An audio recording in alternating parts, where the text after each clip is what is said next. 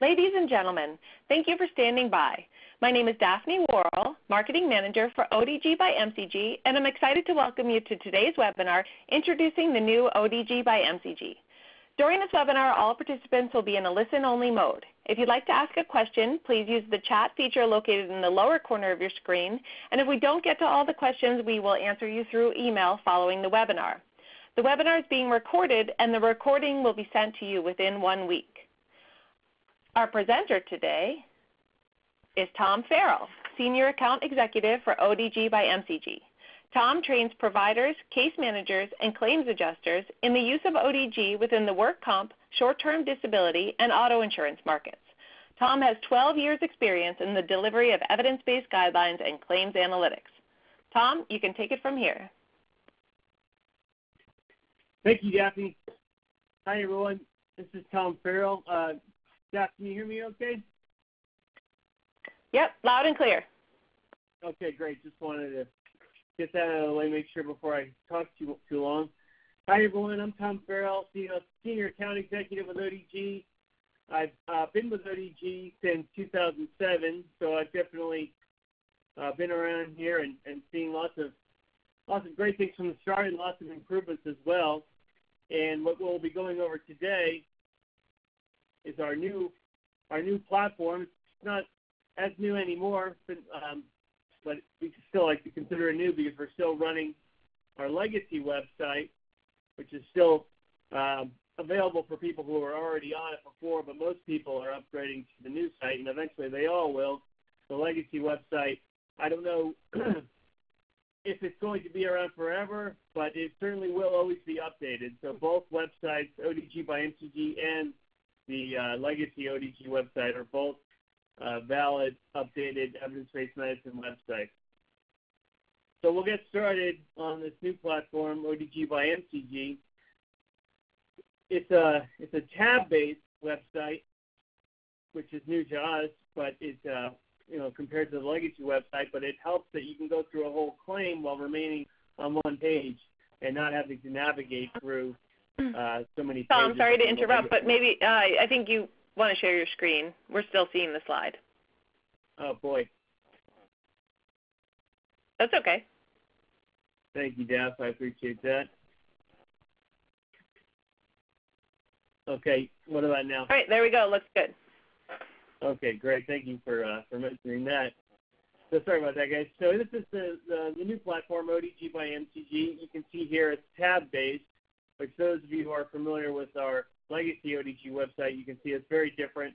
Uh, however, the, the benefit of being tab-based, you can remain on the same page. Now, with so much information uh, in, in evidence-based medicine, really you could be uh, searching through a maze of things uh, when you're having to jump to different web pages, uh, which can be confusing if you haven't done it before. But here on the ODG by MCG page, it being tab-based, you don't have to leave the page. You just jump on different tabs, and it, it saves or pins all the information you've done before. Uh, and as we get, get into an example, I'll show you how these things will be pinned and saved, and will also affect the results of, you know, disability duration, things like that. So, and also an important thing to know is how to clear that. You would click on this ODG by MCG icon, and it would clear the pins or clear the saved uh, items that you were searching for because they will not always be necessary uh, there and could affect, as I said, it could affect the duration. So you want to clear those sometimes. But because uh, this see this big search bar at the top of the screen, the ODG by website is search based, and we're going to get into more details on that in a minute. I just want to show you what else is on this home tab page. There's ways to uh, quickly search disability duration, treatment, and cost. You can browse by type beneath that, return to work diagnoses, and medical treatments. These are you know the most common why they're listed here. I also should mention that these web this website can also be customized if if your uh, company would like to do that to see like let's say for a certain job description that uh, is most prevalent in your company, you see a certain injury the, mo- the most often. You can change what is showing as uh, in the return to work diagnosis or the medical treatment, whatever. Just make for a faster way to find what you're looking for. Uh, you would have to, you couldn't necessarily do that yourself. You'd have to speak to, to uh, an account, your account executive to have that done for you, but that can be done. Uh, also, you can click on this body uh, and just click on the little dots here, which little quick fun new ways of jumping around of what you're looking for. I'll click back on the web page before we get into that. The home page. And then here at the bottom of the screen, guidelines by state. So states and provinces in North America, what, what guidelines they are using. If you want to see what all the states are using, you can click on this icon. Uh, you'll see the vast majority of them are following ODG, but some states have run their own guidelines. And then a quick start guide here, uh, which will give you a, instructions and a video. And besides that, for the instructions and video, if you go up here to help and training, there are a lot of tools uh, to learn how to do things as well.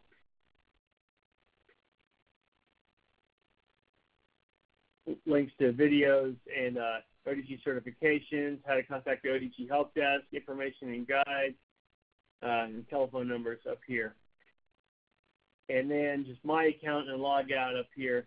Now, so what I was saying before, everything's search-based. An important thing to know, if you go up to here, codes, maybe I'll zoom in my screen a little bit. It is pretty tiny. Um, and I hope I hope you guys can see it or are viewing.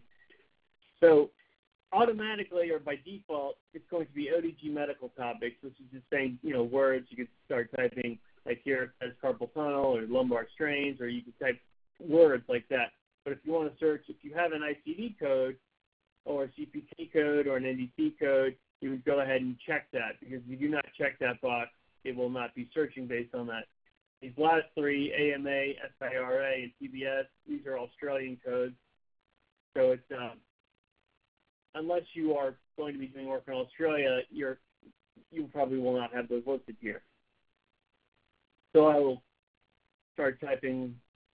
Let's do the example: carpal tunnel, and you can see all these check bar check marks appear in these tabs. That's saying if there's information regarding this regarding my search already. If I scroll down a little bit, you can see it has the same information listed here, or hyperlinks for all this information of disability duration, carpal tunnel syndrome, carpal tunnel release surgery, and treatment guidelines. 131 listed here of different ones recommended, not recommended, conditionally recommended, um, or references to other material. We'll get into that when we get into the treatment tab. I'll click on the disability duration tab right now. And for all these tabs, there are individual videos. You can watch instructions on how to on what these are for and how to use them best. And of course, you could make the screen bigger, but we're not going to watch the video now. I just wanted to show you that. So for duration, uh, you can say, well, is it carpal tunnel release surgery or for carpal tunnel, carpal tunnel syndrome? We'll just click on carpal tunnel syndrome. And then it says average 54 days, best practice 24 days, well, that's helpful, but can we do a little better than that? Can we get more specific? Go back up to the search bar up here and click in it, and then you can refine in your search. And you can start saying, well, the Department of Labor, uh, Department of Labor, Labor job class, or you could put in an actual job title. Let's say uh, welder. And as I type welder, whoa, a bunch of options pop up, so you can get very specific. We'll say that uh, arc welding. And then you can say the person is located in Delaware. You could say their age, date of the injury,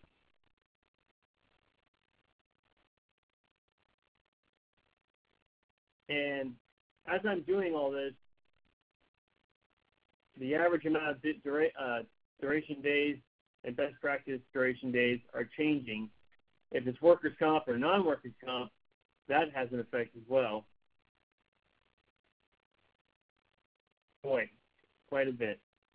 So in this case, 44-year-old arc welder from Delaware injured with carpal tunnel syndrome, well, carpal tunnel, boy, that'd be important for welding, using your hands so much. Uh, 217 days in workers' comp. Best practice, 71 days. So the average average is not necessarily something you want to uh, aim for. You want to you want to aim for best practice. Best practice is under the best case scenario without any other complications. This can be achieved, or uh, it's definitely possible to be achieved in, in a lot of cases. Average is going to be high. That includes if it's uh, you know confounding factors put into that equation. Uh, and actually, we didn't even check any confounding factors here, but for those, it'll include the extremes in the equation, which will drive the days up so much. That's why it's 217 days. Uh, under this, more uh, details on if you're having conservative treatment or if you're having surgery, if it's uh, your, your modified duty, if it's a non-dominant arm, and so forth, all the different scenarios. Then codes related to this topic, ICD-9 codes and ICD-10 codes. So we're on ICD-10, of course, but if you if you need the references to an ICD-9 code, you can do that here, or see other ICD-10 codes here. You can do that as well.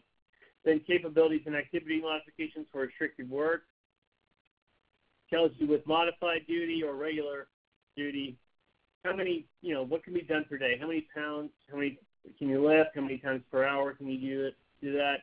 So for all every ICD code will tell you capabilities and activity modifications for restricted work. Uh, because the evidence shows if you can get someone back to work without risking re-injury, they're probably going to heal faster. As long as you don't, you know, risk, as I said, re-injury or hurting something else. Uh, physical therapy guidelines are listed down here, as well as chiropractic guidelines. Up here towards the top of this disability duration tab, uh, listed here uh, today's date, return to work prescription recommendation, best practice, and average amount. Let's see. Let's go back up here. Right here, this risk assessment score. It's kind of a like this whole picture we have is a thermometer of low, moderate, cautionary, high, and extreme.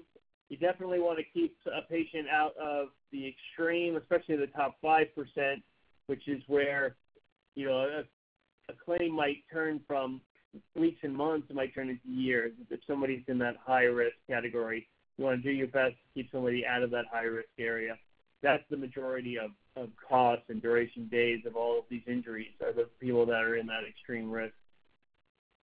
So this one's pretty high though. This is 78.24. Uh, as I said, lots of videos on the Fed on, um, on every section. So if you want to watch a video on carpal tunnel, we provide one here. We don't watch the whole thing. Let's see. Okay. Are a common cause of the condition known as carpal tunnel syndrome.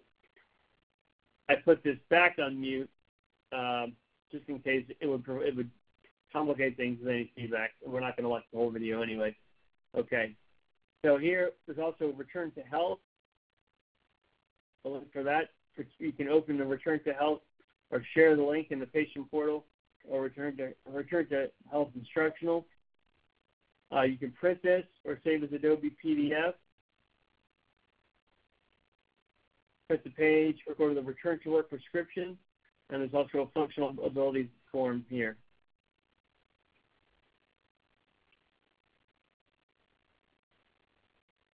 I'll click on I'll click on return to work prescription, and this can be filled out by a treatment provider or case manager um, from the desk of employer name, email, you know, contact information, all that sort of thing. Date of injury, and of the surgery, the date of the surgery. Then comment comments here. You can say insert recommended text, excuse me, or modify that to how you'd like. Uh, for disability duration, you would check whatever you think is uh, appropriate here. The target return to work date or the average. Different scenarios. You can adjust those scenarios, however, and then capabilities and activity modifications for restricted work.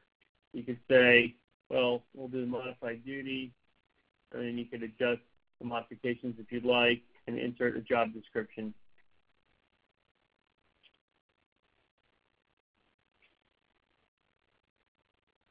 I clicked on the home page, which also clears this out. If I had I clicked on the back arrow, it would have gotten us to where we were. that was carpal tunnel. So just since it's cleared out, we'll try something else. Um, that's 3.5. Oh, you know what? We got to check ICD-10, although it showed up anyway. So click on back strain. That takes us to the disability duration page again. Uh, and as I said, you click on search again, then you can enter in more specific detail. Let's click on the treatment tab since we just went over uh, duration. So on the treatment tab, there's 1,019 results of treatment for S33.5 or back strain. So that's definitely a lot, and you wouldn't want to have to sift through all those. So you could say, well, I only want to see ones that are recommended. And just know that recommended will also include uh, conditionally recommended. So R for recommended, CR for conditionally recommended. And also, what's showing now, if you hover your mouse over any of these, it gives you a little summary over of what it says by just hovering the mouse over aerobic exercise. And it tells you a little summary of what it says, first of all, if it's recommended or not, and then why. So that's handy. You don't have to click on every single link you see to, to find out in summary what does it say. So then we can say, well, okay, so that brought us down to 91 results for treatment, down from I think it was 2019. Then we break it down by category, say, well, I only, only want to see recommended surgery for uh, low back. And that brings us down to we're at 19. And then body systems, so of course low back.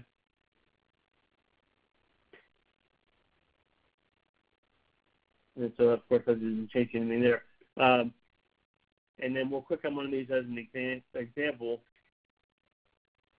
Let's click on uh, spinal fusion. Conditionally recommended. the spinal fusion for the low back, conditionally recommended, and here the criteria in blue will be explaining what, when would this be recommended, when would this be appropriate to do, because obviously it's not always recommended to do spinal fusion, of course, but sometimes it is necessary, and it explains here in the blue criteria uh, when when it is appropriate. And beneath that, risk versus benefit, and you see all these hyperlinks, hospital length of stay, physical therapy, all over the page. You can click on any of those to uh, read more greater detail on physical therapy or length of stay or, or any of these things here. Also, all these little citations with the author and the year, you can click on these to bring you to the bibliography of that evidence itself, sometimes even bring you to that piece of evidence uh, where it came, well, always where it came from, but sometimes the actual uh, listing of evidence. Anyway, that shows the transparency of ODG and how if you're following ODG, you have backup. You don't just say, well, I'm following these guidelines and people who don't know ODG might think, well, what does this mean to me? It doesn't mean anything. Um, but you can say, well, look at where these guidelines are based, and you can say you don't even have to cite the guidelines. You can just cite where the evidence came from, because ODG will take you directly to the evidence and where the where these statements came from and these recommendations. So you're backed up many times over. If anybody ever, uh, if you're if you're following ODG, you don't have to worry about any uh, being sued, or at least you won't have to worry about someone suing you winning as long as you're following ODG. Then on this page also is the treatment info PDF, methodology, physical therapy, and chiropractic guideline insert here, documenting, documenting exceptions to the guidelines. So you do this if, let's say, your treatment provider wants to do something, or, or if you happen to be a treatment provider, you strongly feel in, in this case for this patient you, you want to uh, provide some treatment that ODG generally does not recommend. Well, there are, there are a way to follow there are guidelines of how to get exceptions to that. Uh, so if it if it you're following the right reasoning be, behind it, uh, it's just ways this is just instructions on how to document those exceptions. This is why I'm doing something that ODG generally does not recommend. In this case, um, it's, it's backed up by the evidence. It would be the better thing to do. If you want to suggest changes to ODG, or if you're seeing something medically uh, that well, or you know, for whatever the case may be, formatting, medically, whatever it is. If you want to make a suggestion how to change your ODG, definitely click on here uh, and contact us, you know, by email or phone. If you want to see who's on our editorial advisory board, the uh, over 100 physicians analyzing all this evidence and making recommendations based on the evidence, uh, we have them listed here. Then you can print or save as PDF if you click on this print icon. You go to print page. Generally speaking, uh, when you go to print, there will be okay, it's loading right now. Anyway, I, don't, I didn't mean to spend so much time on this print thing. So, but when it opens up and you go to print and it's asking you what printer do you want to go to, just go to the scroll menu and you can change that to um, save as PDF. That's really all you're trying to do is save as PDF and not print. Then copy URL, this link up here. I'm clicking on this right now because otherwise, if you don't use use this exact URL, which from the last thing you were searching on, if you look up here on the web browser bar, it just says odgbymcg.com slash treatment. So no matter what we're searching in ODG and we're on the treatment tab, it's going to say that. So you wouldn't want to copy this and save it because it's just going to take you to the general unsearched treatment page. So you'd want to click on copy URL to go to this exact page from where you were if you were, if you were looking at spinal fusion for uh, back strain. And you see over here, these were pinned, these are saving, so these are all going to be a factor in what we're searching. So if I'm searching about a different patient now, I'd want to click on ODG by MCG to clear that. Or you can click on drug formulary and it would clear that. The reason the drug formulary tab clears uh, what we previously, search, previously searched on is because the, our drug formulary is not condition based. It's not based on what type of disease or injury somebody has. It's based on are these drugs safe to be using regardless. We'll get into drug formulary in, in a minute. I'll click on this next tab, tau index.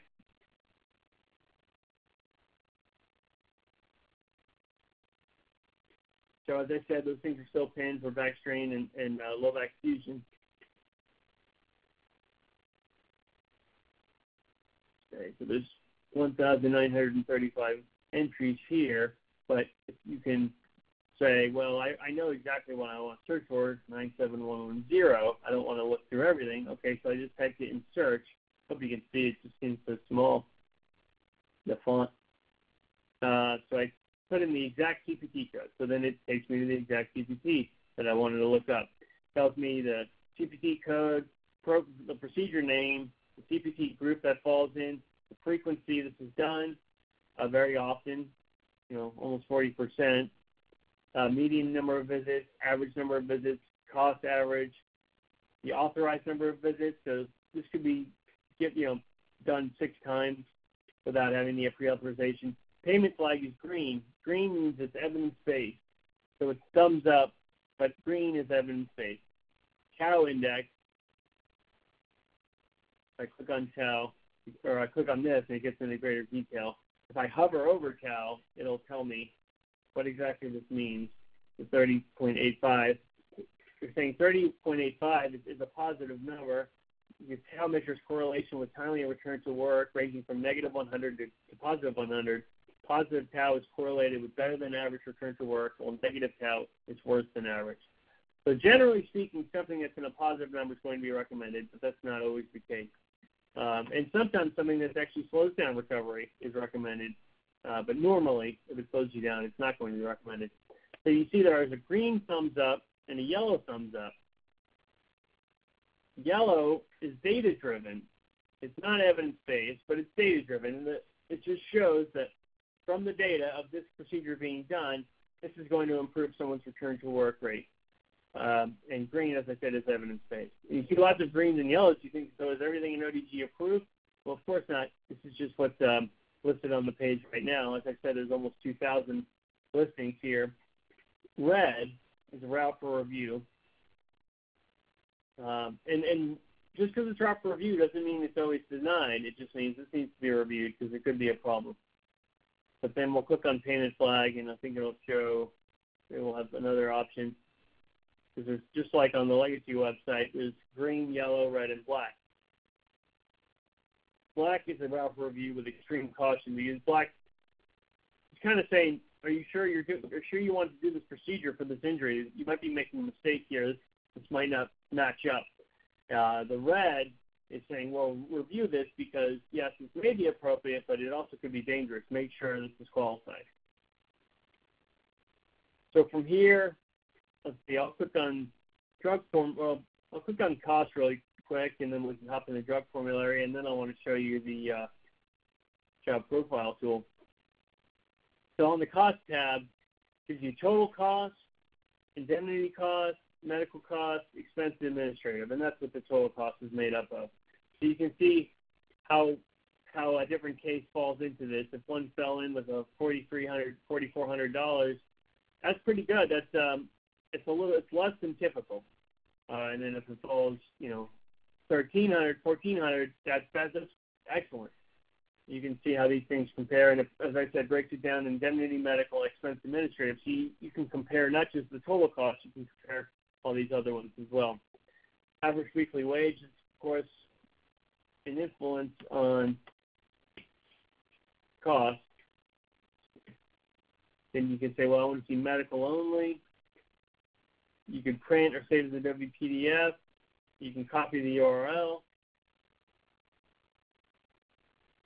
And then let's jump into drug formulary. On the formulary tab.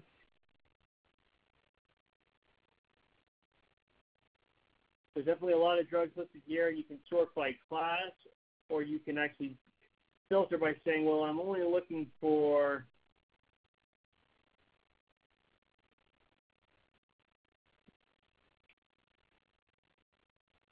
anti-epilepsy drugs or AEDs, uh, because there are so many here. It's good to have this filter up here to search. Or you can say, well, I just want to see all the drugs that are not recommended, all the ones that are recommended, or I want to see them based by cost, by brand, by generic name, by drug class. Uh, so these can all be organized in different ways. Here, antidepressants, for example, it says for mental disorders. Um,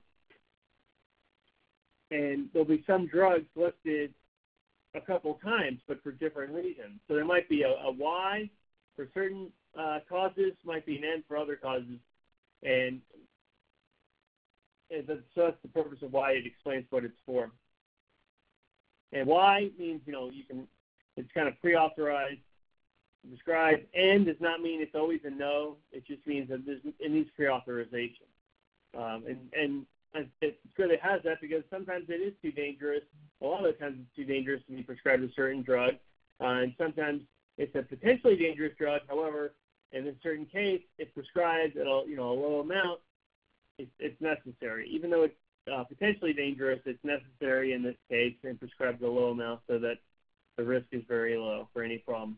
You can sort drugs by class. Um, NSAIDs, opioids, see as the years go on, you know, then we have cannabinoids, topical analgesics, and then on this formulary page, you can look at the opioid MED calculator, and there's a video for that as well.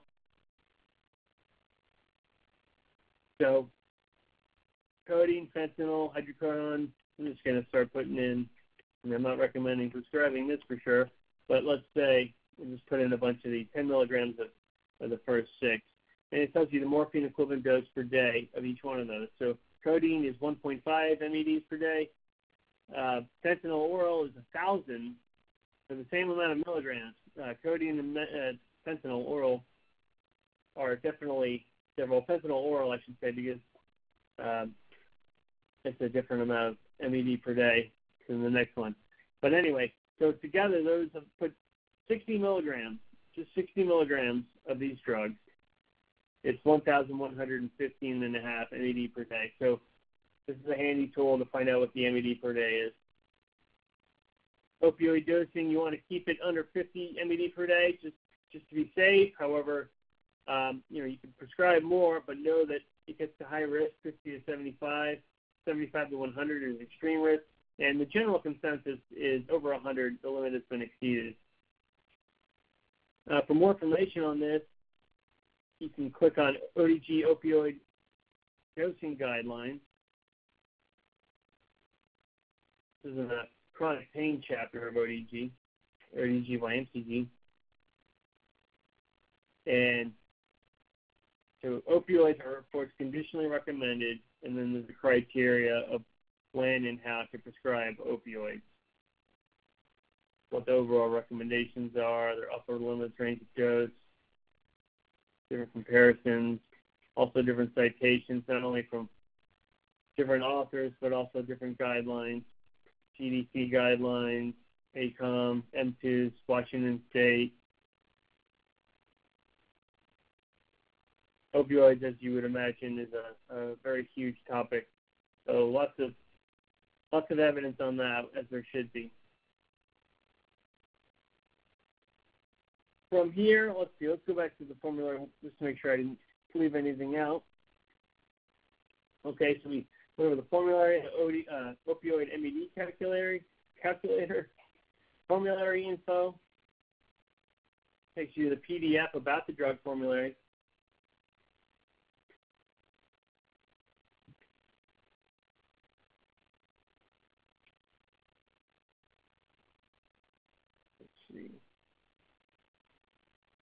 Definitions of every one of these columns. And then the cost of therapy calculations are found here in this PDF.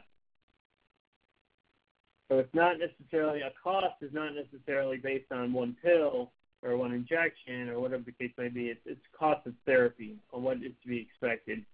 So for this one, you know, 30 day supply, two tablets per day, that sort of thing.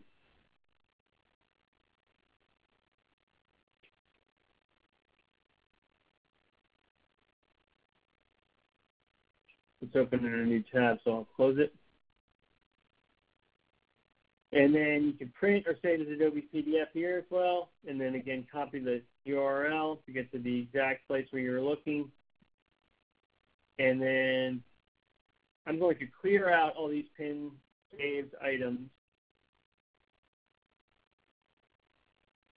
And I want to click on, show you this job profile uh, tab at the end here but we can also go to you know by clicking here and watching a video on it and just getting started from the job profile tab. Or honestly, you can do it from the home page as well if you go to search. And it'll so all of these tabs, as you saw before, will uh, be factored into this search. Whether or not you're on the tab, they will all uh, be affected by your search. So we can say let's go. We'll, you know, I was to say uh, we'll go to the job profile again. We'll say firefighter, and of course that's a giant subject. Lots of different occupations of fighting fires. So we'll just say regular firefighter, which is a very heavy Department of Labor job class. And we'll say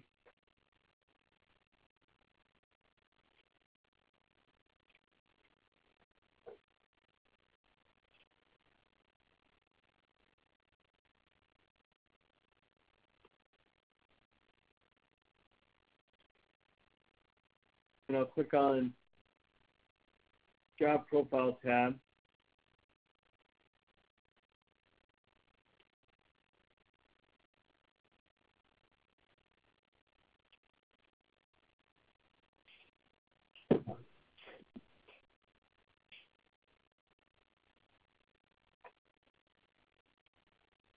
So the job profiler is based on uh, 32,000 different jobs. So our database of 32,000 jobs that you can search based on this or using this tool. So we'll stick with firefighter. Fighter.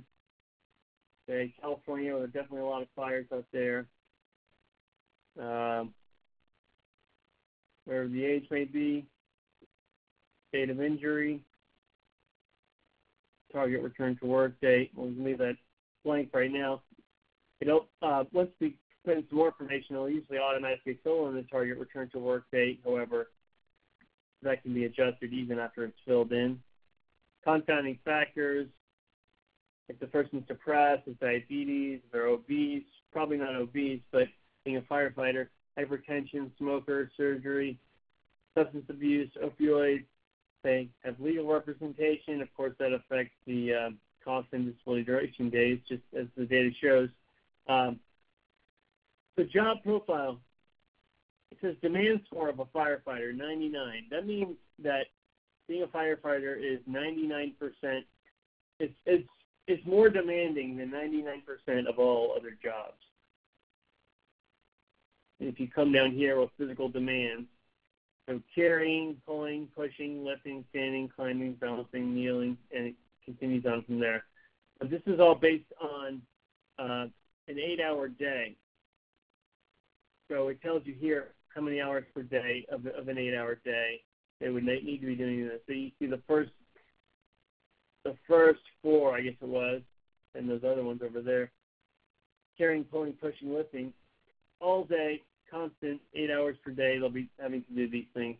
Uh, and that, this is the example of a firefighter. Of course, you could put in a different uh, job description too. As I said, 32,000 to choose from.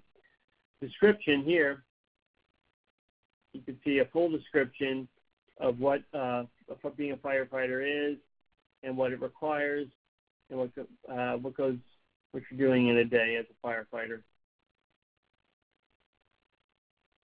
And then this could also be customized, which is available. However, being on the website offers so much, but you could also customize it um, using. But so much is available on the website. You could, like this, share the job profile now. You can put in the company name, email address,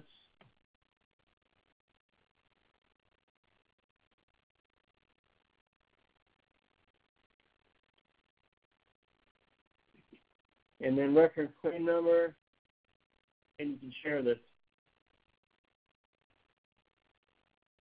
Let's see, I just wanted to do one thing.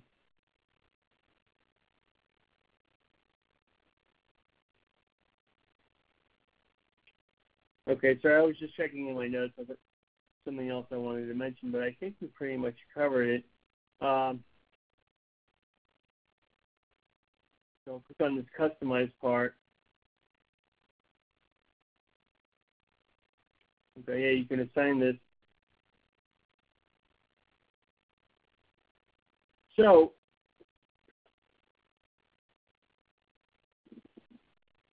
I'm happy to cover any more of this website as well as if you're already speaking with an account executive or an account manager, they're happy to uh, do more demos and training as well. But so as am I. I think from the from that screen had my email and phone number, but I'm always uh, feel free to contact me or the help desk. Our help desk is actually ODG Help at mcg.com. And Tom, if you want to, if you want to kick it back to my screen, I can put the slide up with that information too. Oh, you've already got all that stuff. Sure. Oops. Okay?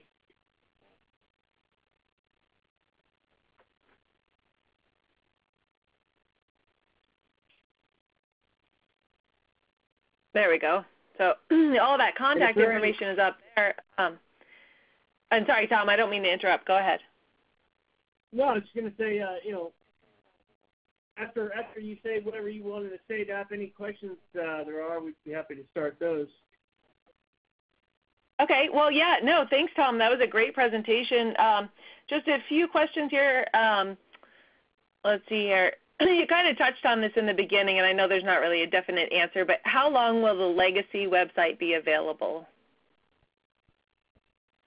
Well, yeah, again, I, I, I don't have a date, or we do not have a date that it will be phased out. It's just, it'll naturally probably will because uh, people who try out the the new upgrade ODG by MCG, the new platform, uh, love it, and eventually, you know, most most people will be moving to that because all new subscribers will be on this new platform. Uh, so let the just the legacy ODG, it's just as it's described. You know, people who are already using it, they're already used to it. Um, but as I said, the vast majority of, of legacy users who've tried the new platform end up wanting to switch to it anyway. So it's all all you need to know is that it's not going to be there forever. As far as the date, though, I do not have a date of when it will be phased out. But as long as it is up there on as a, as a website, it will always be valid and up to date and, and a good site to use with evidence-based medicine. All right, great. Thanks, Tom. Um, so how much does this site cost um, to gain access to this ODG by MCG? Well, there are um, a number of options uh, based on, on what you need it for, whether you're wanting to use it for uh, just web access or through data integration or application program interface or you know for what company and, and organization size and all that. So the best thing to do is get in contact with your uh, your your contact with ODG. Uh, how'd you hear of ODG? If you don't have a contact, feel free to email our help desk, odghelp at mcg.com, or reach out to me, uh, as as Jeff had on before, the tom.farrell at mcg.com and give one of us a call um, or, or send us an email, and we'll be happy to to explore that further. All right, thanks, Tom. Um, let's see, and I guess this is our last one. Is further training available for my staff? Yes, definitely. We are um, always happy to do more training, and we could do it on, in large numbers or on one-on-one basis anyone who needs any training, feel free to reach out to, to us. As, as has my information up there. If you don't have uh, a current account executive or contact, email me or, or the help desk, of course, odghelp at mcg.com. If you do have a current person you're in touch with, definitely send them an email, give them a call, say, I'd love to set up some more training for my company or for myself as an individual or whatever the case might be, and we're, we're always happy to set one up and, and do that. All right, great. Thanks, Tom. Um, and I also just through the chat message just um, sent out the link to our mcg.com slash ODG um, website. On that website is the client resources section, and then there are self-training tools. Um, and there are a lot of different short little videos of every part of ODG to go through, and um, so those are excellent as well. And then our we got one more question in. Will there be a link to watch this again? And yes, there will. Um, Everyone who attended or registered will receive an email within one week with the link to this recording. So um, you can watch it as many times as you want then. So thank you so much, Tom. Thank you, everyone, for attending, and uh, let us know if you have any questions. Thanks, Daph, and uh, thank you, everyone, for attending, and uh, don't be a stranger. All right. Thanks, Tom. Thank you. Please stand by.